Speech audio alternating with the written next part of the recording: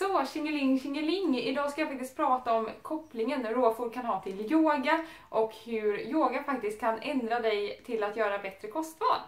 Så att genom yoga så ökar man sin medvetenhet, man lär sig fokusera bättre och man lär känna in sin kropp, man lär känna sig själv bättre.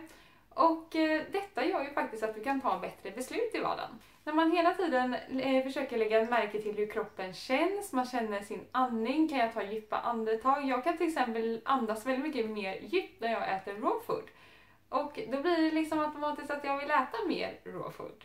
Och man lägger märke till hur man känns i kroppen. Och känner man sig väldigt stel då kan det bero på vad man har ätit eller hur hydrerad man är. Och då förstår man att det är väldigt viktigt att vara hydrerad och man förstår att det är viktigt att göra rätt kostbeslut. För jag kan till exempel märka att när jag äter eh, någonting som är ganska försurande för kroppen eller någonting som är svårnedbrutet eller någonting som bara är väldigt torrt, typ bröd till exempel, så känner jag det att jag är lite mer stel. Och viss mat skapar ju inflammationer i kroppen också och det kan man ju också känna då.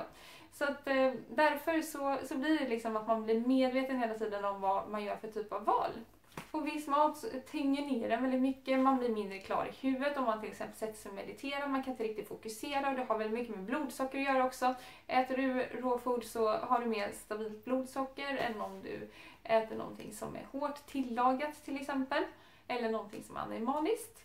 Det är ju helt underbart att känna att man är klar och pigg och alert i huvudet och eh, att man känner sig lätt i kroppen. Viss mat tynger ner så himla mycket och då blir det automatiskt att när man utövar yoga eller meditation att man dras till den här lättsmälta maten som inte kräver typ 72 100 timmar att smälta som animalisk mat gör. Vegansk mat har ungefär 3-4 timmar råfod, 1-3.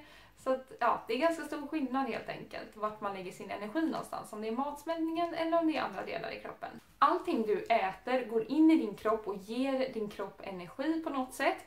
Och om den ger positiv eller negativ energi, det beror på vad du äter. Och negativ energi, det är ju någonting som inte lever, någonting som är dött, någonting som har dödats för att du ska äta och det läggs automatiskt på ditt samvete tyvärr. Även om du kanske inte tänker det så, att det kanske är så, så, så är det faktiskt så. Eh, omedvetet alltså då. Så att positiv energi, det får du från någonting som solen har eh, lyst på, jätteenergi. energi och eh, det går in i din kropp och allting som kommer från växtriket det har någon typ av viss eh, bra information som går in till dig. Och ger dig näring också.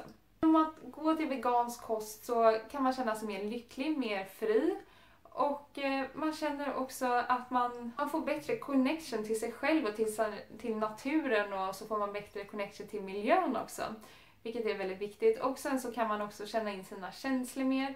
Man blir mer känslosam, vilket är väldigt bra. Och jag vet att det är inte lätt att byta kost. Man har sina vanor och vanor är väldigt svåra att knäcka. Yogan kan hjälpa dig väldigt mycket för att du ökar din medvetenhet och vanor är exakt samma sak som medvetenhet. Visste du det? För det är faktiskt så här.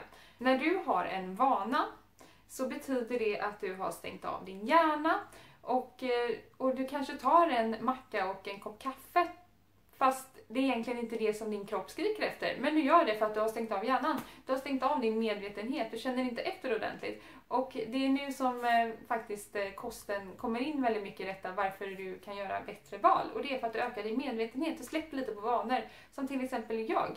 Jag brukar inte så planera så mycket om jag inte liksom ska iväg då. Men om jag är hemma, jag brukar inte planera vad jag ska äta under dagen. Utan när jag är hungrig, då går jag och äter. Vad jag äter, det bestämmer jag då. Det är det som är väldigt viktigt, till exempel om man vaknar på morgonen, att man känner in sin kropp liksom. Behöver jag en apelsin? Eller behöver jag en banan idag? Bara en sån liten enkel grej. Du kan känna in det mycket bättre om du släpper dina vanor. Eh, till exempel om du hade ätit bananer varje dag och sen så kommer det en morgon som din kropp verkligen inte vill ha bananer. Då har du missat den informationen som din kropp har gett dig. Vanor gör ju liksom att vi blir som maskiner och eh, vi är inga maskiner, vi är människor, vi är människor som har känslor. Vi ska använda detta också. Genom att använda våra känslor, vår medvetenhet, lära oss fokusera mycket bättre. Och eh, då kan vi göra bättre beslut i, i vardagen. Och, och då blir det också att vi minskar konsumtionen av mat som förstör vår miljö och mat som kommer från djur. Så att ja, det var det jag ville berätta idag. Hoppas du gillar videon. Det finns en liten knapp, prenumerera, som du kan trycka på där nere. Ha det bra, hejdå!